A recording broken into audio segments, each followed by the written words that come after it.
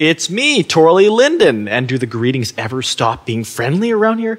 No, they do not, because in this video tutorial, I'm going to teach you more about land, specifically land owner dis display options. And if you're wondering, what does that mean? I make it easy for you.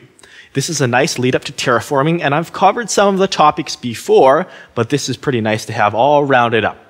Begin here in the View menu and look for Property Lines and Landowners. Let's look at property lines first. When you click this, there will be lines that divide parcels so you can see which parcels belong to who. A green boundary means that it belongs to you. You're the parcel owner. A red boundary means it belongs to someone else who you may or may not have a connection with. See, all these other ones are red. Meanwhile, mine on the edges is green. Let me just zoom in there to show you very clearly.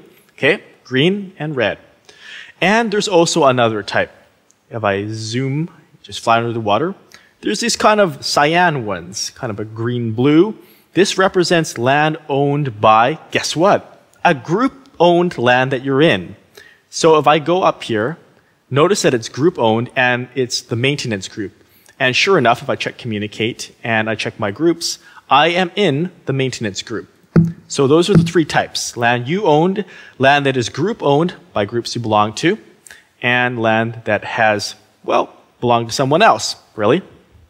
Next, if that's not clear enough for you, go to View menu and Land Owners. This will show, ah, swatches of color using the same color, as you can see. Red being other people's, green being yours, and cyan being group-owned land. It's just an easier way to tell. And by the way, these options can slightly degrade performance, so if you feel they're making things slow, you can turn them off. And for completeness sake, if you happen to see purple land, that just means that it's land up in an auction, and orange, kind of yellowish land, that's land that's for sale. When we go to the map, remember the legend, look right here, land for sale and auction.